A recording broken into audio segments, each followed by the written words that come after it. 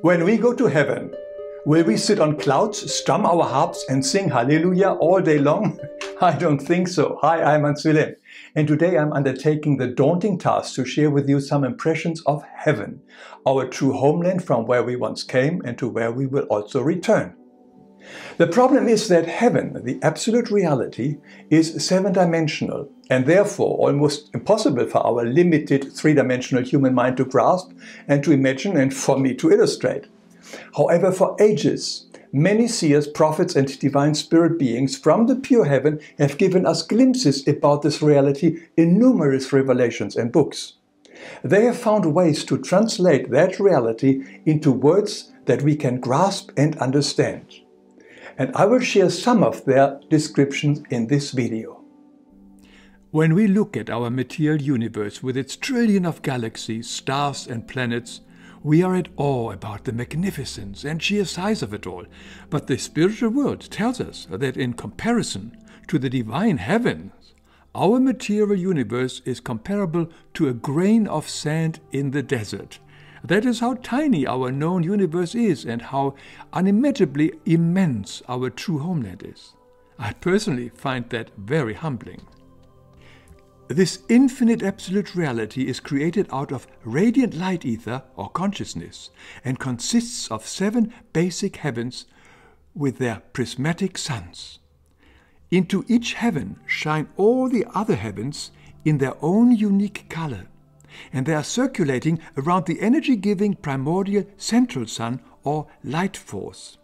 And every time these heavens approach this central sun on the elliptical path, more divine spiritual sun systems are developing in that heaven. All these heavens consist of innumerable suns and planets teeming with life, because everything is alive. There are heavenly structures, beautiful dwellings in magnificent gardens. An immense variety of splendid flowers bloom in meadows and valleys with brooks and trees and shrubberies. Countless manifestations out of pure consciousness. And all of it is self luminous, shining of itself. That's why I can't really illustrate it. The teaching angel Liobani from the pure heavens tells us in the eternal being, everything is self luminous because the eternal light radiates through all suns and planets, all spirit beings, animals, plants, and minerals. Every state of consciousness of minerals, grasses, flowers, plants, and animals radiates its light of consciousness.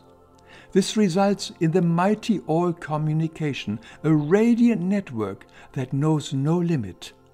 Because everything is in all things and every consciousness is self luminous, infinity is one great light garden of God. Through the divine principle of openness and unity, everything radiates in turn throughout all things, the smallest the greatest, and the greatest the smallest. For this reason, in the eternal being, there is no above and below, no right and left, no back and from, no here and there. All suns and planets in all heavenly planes are in constant harmonious movement. Every heavenly plane has its characteristics in terms of sound, color, form, and fragrance. And all spirit beings on these planets are living in total harmony and unity with all animals and other life forms. The Swedish mystic Emanuel Swedenborg so famously observed, This I can declare, things that are in heaven are more real than things that are in the world. These ever expanding and evolving heavens, with their constant birthing of new planets, are very busy places the divine spirit beings are very active in the maintenance, evolution, and extension of creation. They have a deep and inner communication with God, our loving Father, and take total responsibility for what they have created. In my video all about animals, we can see that the constant divine evolutionary process is taking place in the pure heavens and not here on earth. Every life form that gradually develops into a nature being starts its journey of becoming as one of the spiritual atoms, fertilized by the all radiation in the developing spiritual particle. Over eons of light cycles, this spiritual particle evolves in rhythmic waves to the mineral, the plant and animal kingdom, to a nature being. We also know them as elemental being. When this nature being has matured, it is taken on or adopted by a pair of male and female spirit beings, also called a dual. Through a merging process of this dual pair, this nature being becomes a child of God and, with the guidance and teachings by the parent and teaching angels, will grow in wisdom and radiance. It becomes an absolute perfect energy body, which corresponds to the universe and thus bears perfection in itself. Each divine being, also known as angelic being, also has a unique mentality and abilities, which we can vaguely compare to our talents or occupation, through which they will be active in the kingdom of God, the ever expanding creation. Being unconditional, unlimited, all inclusive, selfless love, these perfect, radiant beings are able to express their true love nature, their mentality, and abilities in service to the all which creates the utter fulfillment, joy, and bliss that we can find in heaven.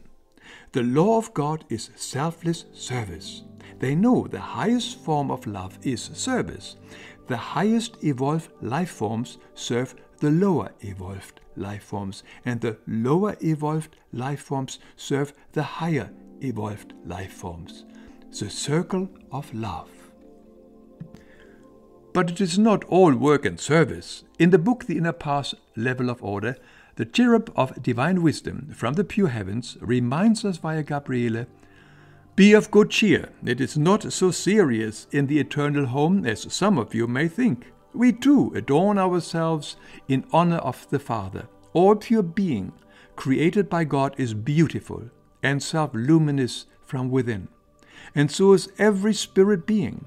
Everything pure is self luminous. Moreover, the beautiful raiments of the spirit beings and the soft, noble, fine jewelry are indicative of spiritual life. For in the kingdom of God, the fullness is manifest and accessible to all. Both the male and the female spirit beings wear long flowing robes. They also wear delicate jewelry. In the eternal being, in your home and ours, there are also celebrations of love. The spirit beings come together for harmonious games and gatherings. They create round dances and hear the gentle sounds performed by spirit beings on their instruments. It may be difficult for us to believe that we have also once been such a perfect, radiant, angelic being. Through our self will, our ego will, or what is generally called the fall, we have removed ourselves and burdened ourselves with negative energies. For us to be part of this divine heaven again requires that we free ourselves from these negative energies, also called karma or soul burdens. Therefore, the mystical spiritual path back home is also called the path of freedom. Through self recognition, repentance, and clearing up and no longer committing those negative aspects that the person has recognized in himself. And with the help of the Christ power within, we ascend and be attracted to higher spheres and eventually return back to our true homeland, to heaven, where our spiritual families will joyfully welcome us. We need to remember that the celestial realm is the highest frequency vibration of consciousness and is, as we have heard, in everything. The entire universe is in the smallest particle. That is what Christ meant when he reminded us that the kingdom of God is within each one of us. Let me emphasize again, I have no interest in convincing anybody about the reality of heaven. Your inner guidance will tell you if that what the divine world have shared with us sounds true for you or not. For anybody interested to read more about what Liobani and the Cherub of Divine Wisdom shared with us, you can find links to these books beneath this video.